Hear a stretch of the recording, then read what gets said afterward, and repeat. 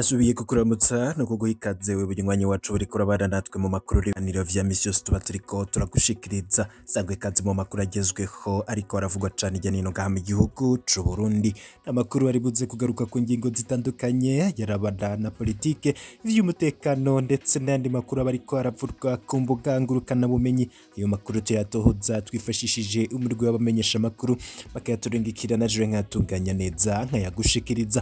Niba utarafyonda kuri sabone wobanza ugafyonda ko kugira dushize ko inkuru uraje uba mu ba mbere bashikirwa na zo. Amakuru rero tugira dutangurire ku ngingo nkuru nkuru ziyagize. Muri ano makuru turaza kukubwira ku rugendo rw'uwahoze ari umutambukanyi w'umukuru w'igihugu Pierre Nkurunziza.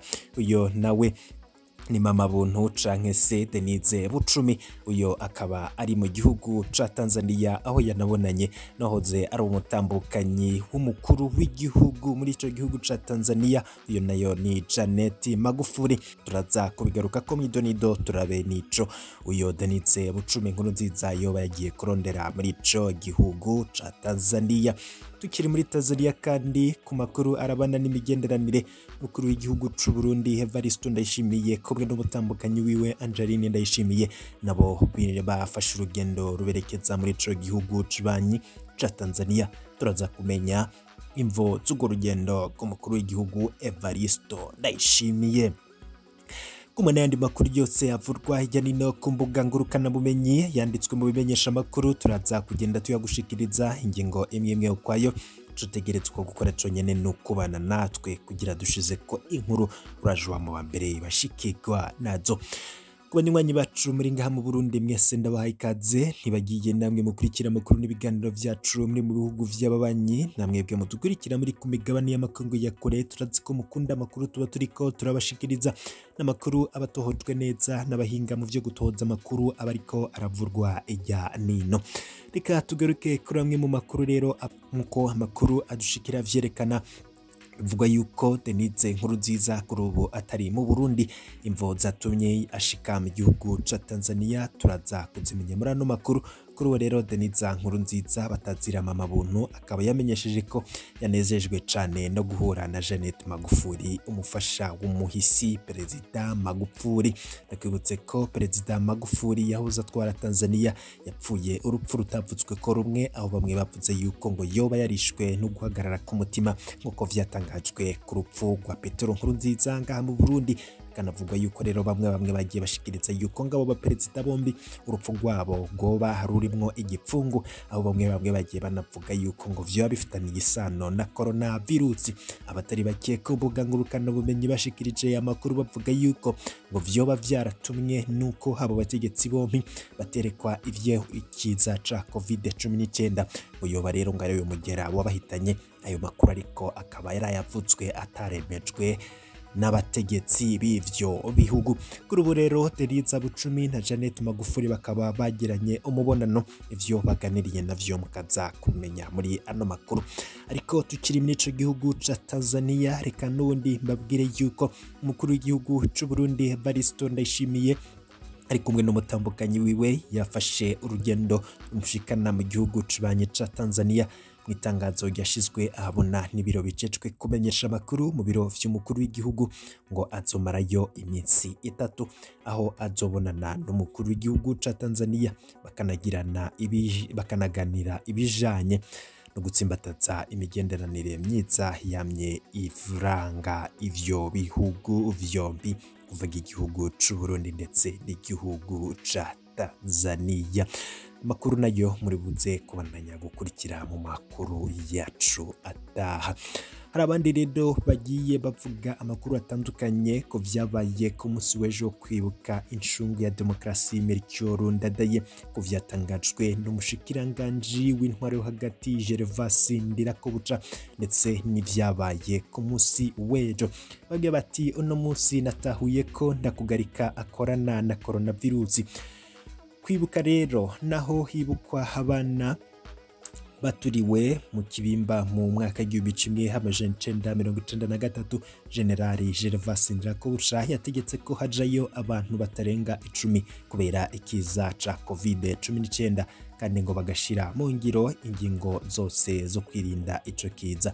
Amafoto rero kw'ibubu yerekana abantu bake cane ndetse n'intebe zitandukanije kugira ngo ntibegerane ariko ahandi mu gihugu mu birori vyo kwibuka higandagurwa rya perezida ndadaye n'abafasha biwe. Ho akaba rero yarekuye ko abantu bahura ari benshi. Amafoto rero yo mu mihingo itandukanye yerekana abantu batari bake bahagararanye begeranye cyane nk'uko coronavirus yoba itakiriho. Aha rero umuntu aca yibaza nimba ndakugarika amenya ko ikiza ca coronavirus kigeze ku buryo ariho aca atanga amategeko yo kucirinda ahandi akacihoza. Canke se ngo goba hari n'urukundo rwinshi afitiye abaja kwibuka abana babo baturiwe kw'ibubu kurusha ubwo gukunda abari mu yindi mihingo yose y'u Burundi ivyo ni ibibazo bimwe na bimwe abantu bamwe n'abandi bibaza. Twibutse ko mu mwaka uheze ho yari yabujije rwose ivyo kwibuka abaturiwe kw'ibubu. Iryo iyo ngendo rero yo guha agaciro ivyaha vyakorewe abo mu bwoko kanaka muri kahise ngivyo ngivyakorewe abo mu bundi bwoko bikagirwa ibitagira agaciro. Ntaho bizoshikana igihugu c'u Burundi ivyo nibishikirizwa n'abantu bamwe n'abandi. Mu yandi makuru havurwa ijya nino rero nk'uko twayabateguriye reka tuyakurikire mu nyuma turaza kugaruka turaba n'ibindi ko bivurwa ijya nino. Bamwe mu rwaruka rw'abarundi barababazwa no kubona ivyiyumviro vyiza vy'incungurwa gasore na merikiyoro ndadaye bitashoboye kuja mu ngiro. William wimana umwe mu basanzwe bakurikiranira hafi ibibazo vy'uburundi akavuga ko amaruhiro abarundi bazokwanka intwaro z'agahotoro ari na zo ziramba ku butegetsi. Akabona ko hazoca haboneka agahengwe mu gihugu. Tumukurikire. Kwa gasore yari afite imigambi myiza ariko yari mu majambo kuko baramufatiye umwanya muto bamwica atarabirangiza.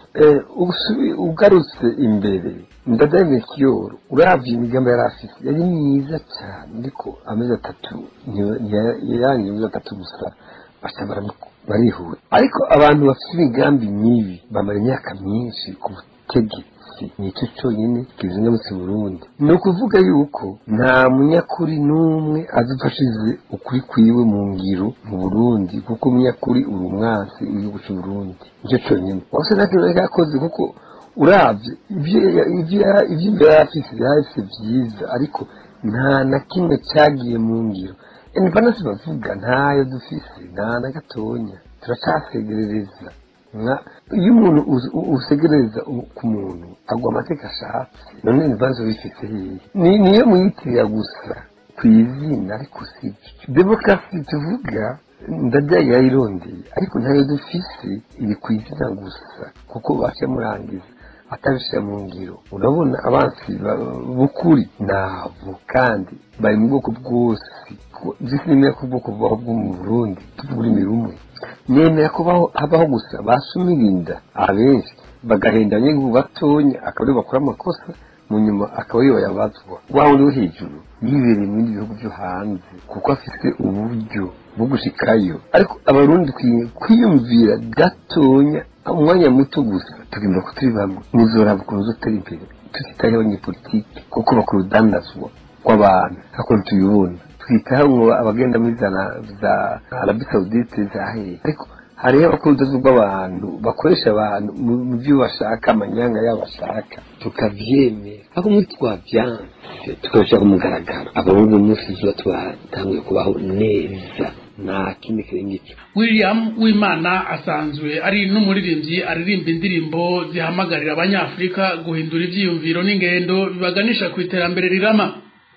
Muri kongo naho havugwa ikibazo c'umutekano muke urangwa mu ikambi y'impunzi z'abarundi ya rusenda iri muri repubulika iharanira intwaro rusange ya kongo ni nyuma yaho hari umusore w'umunyekongo arashwe amasasu n'umusirikare w'igihugu ca kongo frdc umumenyeshamakuru umwe akorera radiyo ngoma ya amani fizi mu rusenda nawe yahatswe kuraswa muri izo ntureka hagati aho hari umukenyezi umwe w'umunyekongo manikazi yacunagujwe uwundi mukenyezi w'impunzi yo mu ikambi ya rusenda.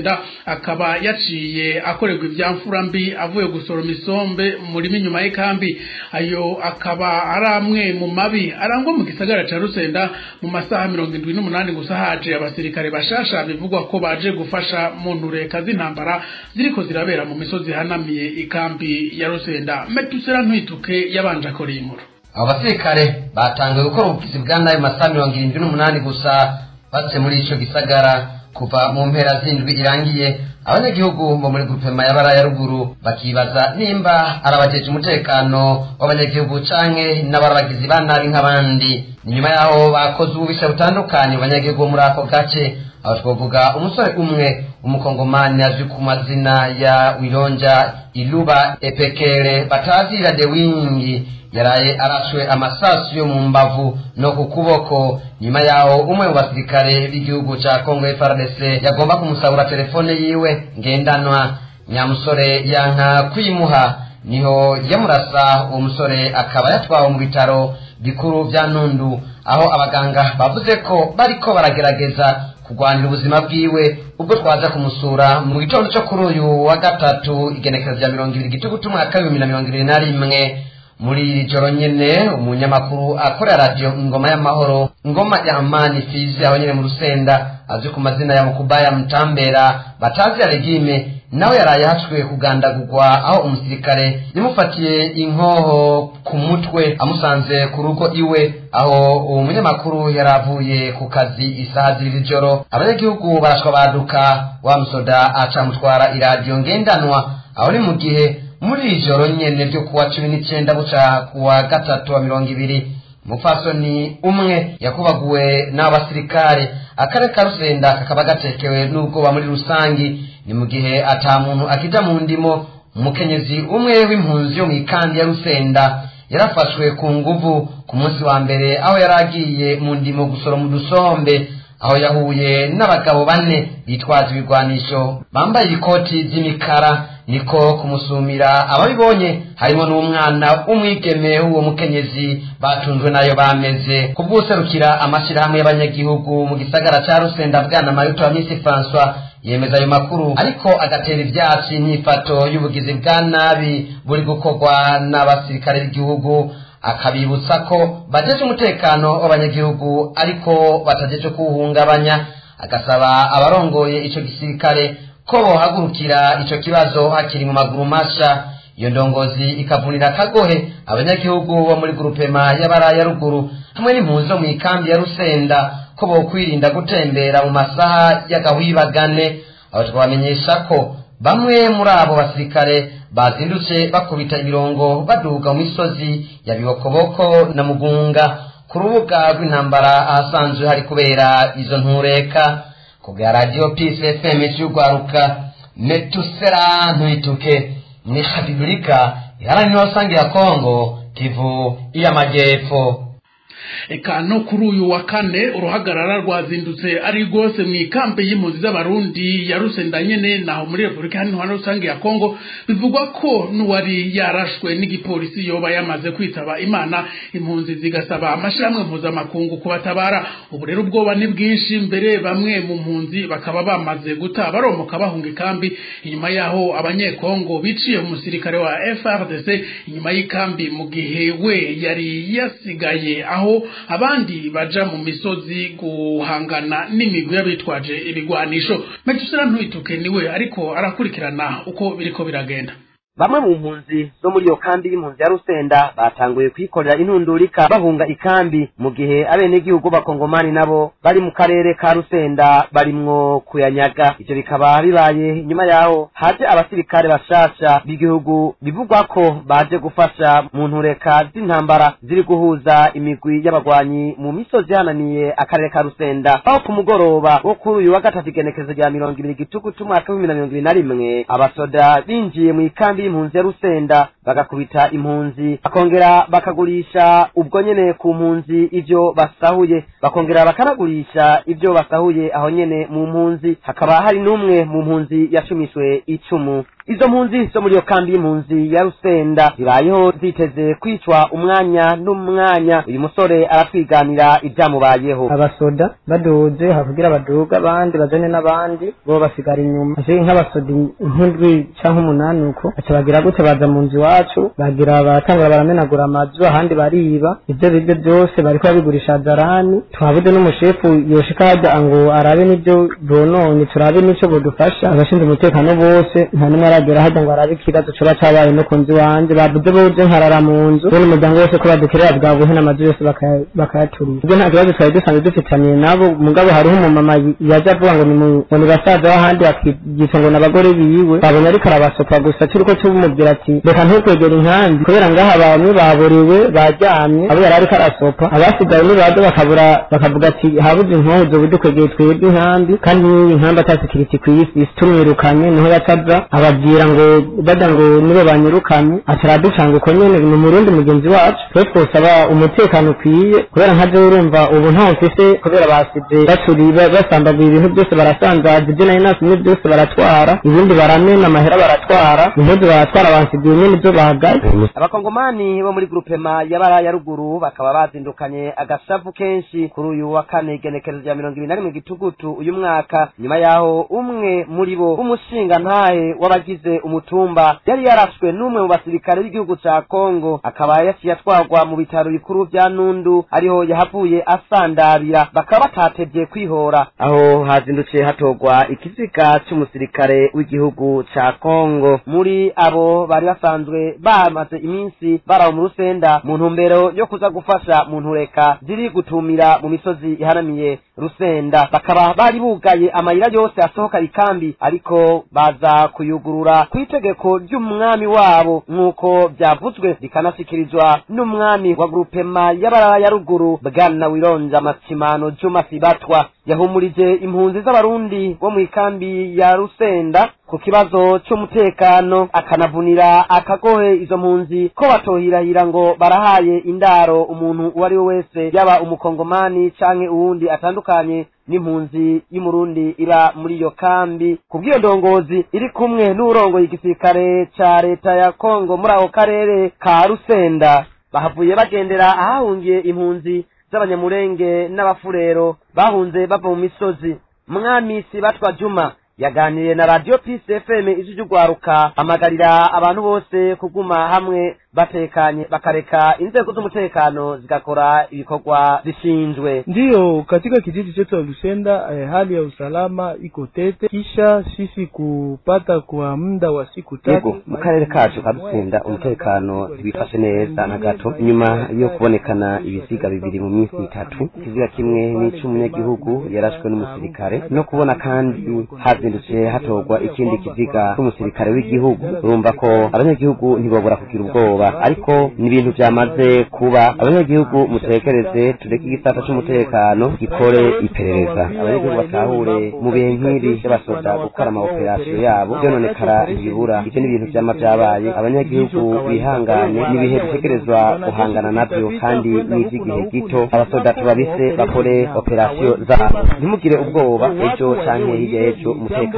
wabonetse na litakwisha wakati watamaliza mambo yao, isikuwe inawapatia paniki usiwati kuwapatia woga. Hapana, waelewe hile ja, ni jambo ambalo tukabiliana nalo na litaisha kesho kesho kutu. ku banyagihugu bo mu rusenda nabo ubwoba ni bwose. Aho bamwe batangwe gutwara abana babo hafi y'ikiyaga ca tanganyika ngo nigwagera nako bafate amato binzira inyanja bagatinya ko bene abo basirikare bishwe bava bamanuka buye mu misozi agashavu kaniga bityo bigatuma bahungabanya umutekano birenze uko babikeka. Tubamenyeshe ko impunzi zo mu ikambi y'impunzi ya rusenda muri village ya kabiri iya gatatu ya kane n'iy'icumi na rimwe bari batekeye utwabo bahungira ku biro by'igisata ca leta ya kongo cita ku mutekano w'impunzi cnr aho tukabibutsa ko atari rya mbere abasirikare b'igihugu ca kongo bica umunyagihugu w'inzirakarengane mu karere ka grupema ya barara ya ruguru. Ku bwa radio peace fm iki rwaruka metusfera ntuyituke muri repubulika iharanira rusange ya kongo kivu y'amajyepfo metusera ntuyituke ndagukengurukire kuri ayo makuru bandanya udutohoreza mu by'amagara y'abantu naho n'ubu leta y'u Burundi isa naho itaratanga umuco ku bijanye n'urucanco rwa covid cumi n'icyenda baheruka kwakira. Umushikiranganje wa mbere Alain Guillaume Bunyoni akavunira akagoha abarundi ko bakwiye kugenda buke buke kuri urwo rucanco kuko n'abarukoze ubwabo bataramenya ingaruka zarwo. Ibyo yabishikirije ku munsi wa mbere ku igenekezo rya cumi n'umunani gitugutu igihe yararamutse asaba abarundi kutajana nyabahururu mu kwiteza urwo rushinge. Tumukurikira abarukoze bonyene baravuga bati urukingo rwa corona virus twararukoze rurahari mu OMS ikavuga ati tururavye yego me turabona ko ari urukingo kandi turabona ko ari rwa corona virus mugabo ingaruka rushobora gutera ntiziraharurwa. Ivyo nibo bavyivugira ivyo biva mu malaboratoire yabo sibivugwa n'abarundi sibivugwa n'umushikiranganje wa mbere niko iyi situation imeze. Ati rero ko murudusavye mu rwego rwo gutabara ibintu bikomeye ntitworeka kurutanga. Mugabo turarubaha ariko namwe ntimuze mugaruke nihagira ikiba nihagira icyononekara. Ngo mutubaze ngo raba mwaraduhaye urucanco ngo none twagize ibibazo. Ni ni cyo gituma rero baheza bagasaba amashyirahamwe cyangwa ibihugu byakira izo ncanco gusinya urupapuro. Nk'uko biyemeje kwakira urwo rucanco uko ruri. Hamwe hogira ikibazo batovuga ngo ngo none ni mwarukoze nimudushumbushe nimubwire ibi n'ibi n'ibi n'ibi n'ibi. Niko rero ibihugu byagwakiriye. Nibaza ko ari na yo mpamvu ibihugu byinshi byahisemo kimwe kimwe cyose mu bihugu bifite ubushobozi ubushobozi bwo gukora injanjo kwikorera urucanco rwayo. Turasanga izakorewe muri amerika hari izakorewe mu burayi hari izakorewe muri aziya abahindi bafise urwabo abarusiya bafise urwabo abashinwa bafise urwabo. Nibaza yuko uwo ari we wese ageze ku rugero rw'ubukuzi nk'ubu dufise nk'ubwo namwe mufise ashobora kwibaza ati none ko twari twamenyereye kubona urucanco? Ruza rukaba rumwe mu isi yose rukemerwa naho bukorerwa mu bihugu byinshi mugabo ya forumire iguma aho ni kubera ko umwe wese afise ubuhe ubwo rucanco kandi ntirutangwa rimwe. Urumva bararuguha ubwa mbere bakaruguha n'ubwa kabiri hari n'abageze kuri dozi ya gatatu. Bisigura ngo koko uko abazikoze babivuze ruracafise gukehanirwa mu buryo bwoshobora gukingira uwo mugera ubwo rucanco kandi hari abarufashe bagakwiza izo doze bakagaruka bakagwara. Uwugiriye ibakwe rike no kuhasiga ubuzima akahasiga ubuzima. Ubwo burorero burahari haba muri ibyo bihugu bya rutura haba no mu bihugu bidukikije. Tukagira tuti rero urucanco ni rwiza yuko koko uwumva rukeneye yorufata mugabo bakarufata azi icyo ari cyo abantu ntibagume bahaga amatama ngo bareke kuvuga ibintu uko biri ngo duhave twitana ba mwana umenge urucanco rwaraje leta ntishaka ko abantu bicandagisha leta ntihimirije n'ibindi n'ibindi.